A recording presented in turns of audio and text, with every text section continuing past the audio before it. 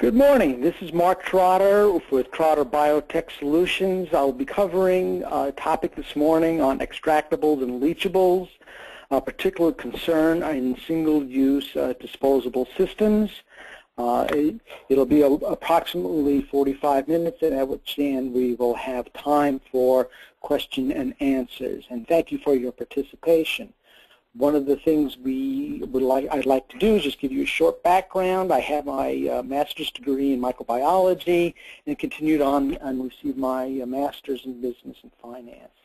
Uh, I've been involved in the biopharmaceutical industry for approximately 25 years, working for a variety of companies in and out of academia, and as of recent have started my own company, Trotter uh, Biotech Solutions, and I've been kind enough that Hyaluron has invited me to speak this morning on the topic of these extractables and leachables. So why are we here? One of the key things is the personal qualifications. Part of GMP is this Part 211.25 uh, to train in current good manufacturing practices and all have to have on a regular basis some form of training and this may meet uh, some of your GMP training requirements. If so, uh, please feel free to add uh, to uh, your personal qualification file. So, as we get through this, there has always been a little uh, discrepancy or a misunderstanding. What are extractables and what are leachables? Um, in the very beginning, the terms were used interchangeably, whereby extractables was the first term that was uh, used to describe materials that would um, come off, leach off of polymer materials and possibly into drug products. Today, we break difference up. Extractables, there's more globally, similar to that pyrogens um, include all compounds that cause a fever or fever response in the body. And a subset of that are endotoxins.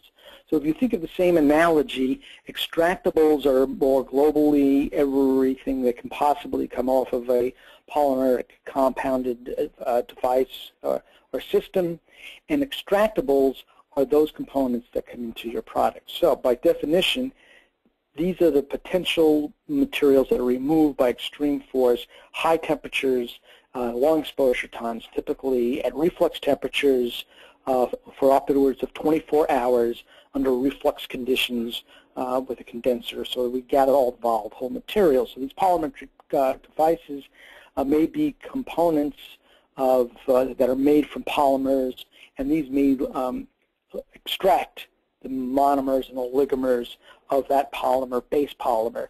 There might be solvents, uh, residual solvents, that are used in the manufacture of the polymer. For instance, filter membranes, uh, the polymer is dissolved in some uh, solvent system and evaporated forming the uh, filter skin or membrane. Might be additives, such as UV, UV uh, protectants, hardeners, uh, surfactants, and so forth that may be added to the polymer uh, part of the formulation. And these are also components that may be found uh, as an extractable.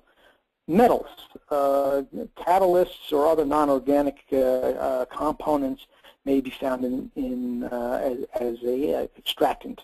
Uh, one time aluminum was a concern in the manufacturing processes about 10 uh, or so, or no more, 15 years or so ago, and there was a concern of of uh, various manufacturing processes using aluminum components and uh, the concern that aluminum had in the disease processes known as Alzheimer's. So these are things to